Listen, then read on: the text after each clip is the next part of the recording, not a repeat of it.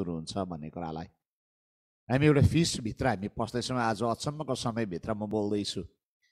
आजको साँझदेखि चाहिँ तुरैको चाड सुरु हुन्छ। फिस्ट अफ ट्रम्पेट सुरु हुन्छ। यम तिरुवा सुरु हुन्छ। अनि यम तिरुवा चाहिँ त्यो सङ्केत हो प्रभु दोस्रोचोटि चाहिँ मण्डलीले लिन आउँदैछ भन्ने कुरालाई। शक्तिशाली कुरा छ आजको साँझ तपाईँ हामी साढे पाँचमा हामीसँग तपाईँ जोडिँदै हुनुहुन्छ तपाईँ जोडिन सक्नुहुन्छ। कतिजनाले विरोध गरिरहेछ फिस सक्यो। त्यो त छाया मात्रै हो। प्रभुको दोस्रो आगो नै भएको छैन छाया कहाँ भयो त?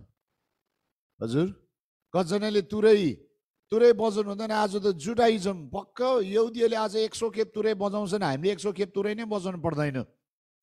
तर एउटा ऋतु सुरु हुँदैछ याद राख्नुहोस्। एउटा समय सुरु हुँदैछ। त्यो समय चाहिँ प्रभुको आगमन नजिक नजिक नजिक नजिक नजिक नजिक हामी पुग्दैछौँ। तपाईँलाई याद छ? मैले थुप्रो हेरिरहेको थिएँ। है युट्युबमा बोल्दै वक्ताले बोलिरहेको हुन्छन् तुरै जुडाइजम हो तुरै बजाउनु हुँदैन मण्डलीमा तुरै फुक्नु हुँदैन। म छक्कै पर्छु। म बाइबलमा हेरिरहेको थिएँ। जकरिया नौको चौधमा त परमेश्वर आफैले तुरै बजाउनु भएको रहेछ। परमेश्वर आफैले तुरै बजाउनु हुँदो रहेछ।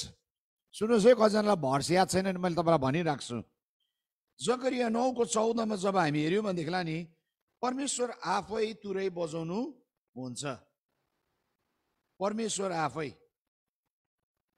परमेश्वर आफै तुरे बजाउनुहुन्छ म यहाँ पढेर सुनाइदिउँ न तपाईँलाई जकरिया नौको चौधमा यसै लेखेको छ हुन त मेरो अहिले मैले भन्दै आज यो कुरा निक्लिहाल्यो अनि मैले तपाईँलाई भन्दैछु। जकरिया चौको नौधमा यसरी भन्छ अनि परमप्रभु तिनी कहाँ देखा पर्नुहुनेछ र उहाँको काँड बिजुली झै चम्कनेछ। परमप्रभु परमेश्वर तुरै पर परमेश्वरले तुरै फुक्नुहुनेछ।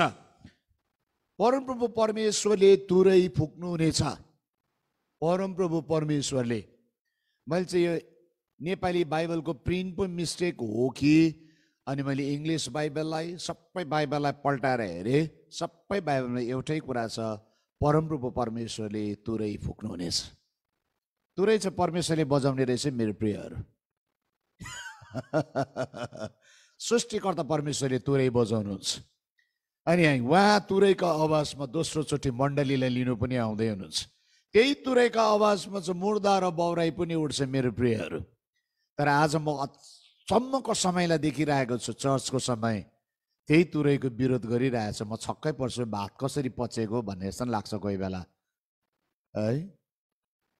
हामीले नबुझिकन नि सुनेको भरमा बहुत कुरा बोलिराखेको हुन्छौँ। तर वचनले शक्तिशाली कुरा भन्छ। बाइबलभरि प्रकाशित वाक्यको सातवटा तुरै त बत्न बाँकी नै छ। घटनाहरू घटना बाँकी नै छ मेरो प्रियहरू। आउने दिन त अझै भयङ्कर कुरा छ।